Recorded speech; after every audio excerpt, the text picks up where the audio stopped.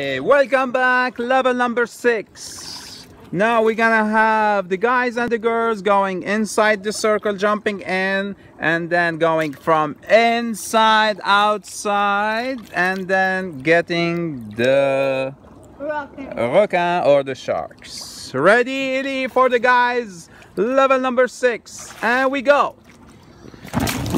It's in, and now we're gonna go back under trying to jump out. Wow, he's fast, he's fast, he's on it.